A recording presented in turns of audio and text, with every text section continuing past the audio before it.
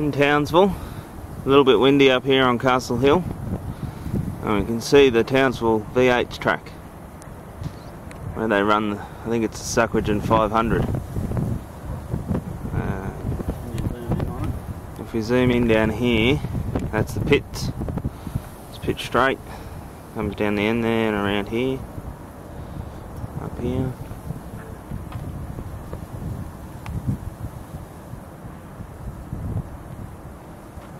Back around the hairpin where there's traffic at the moment. Down across the bridge and down Main Street.